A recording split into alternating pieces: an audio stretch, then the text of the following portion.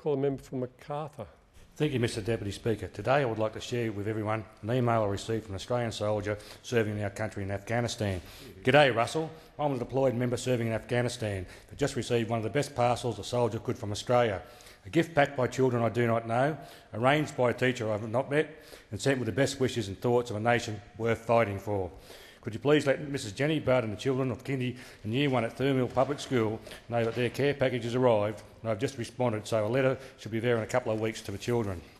the reason I'm letting you know is because Jenny said a cutout from a local paper where you sponsored a website promoting such actions. Party politics aside, a great act by an elected representative.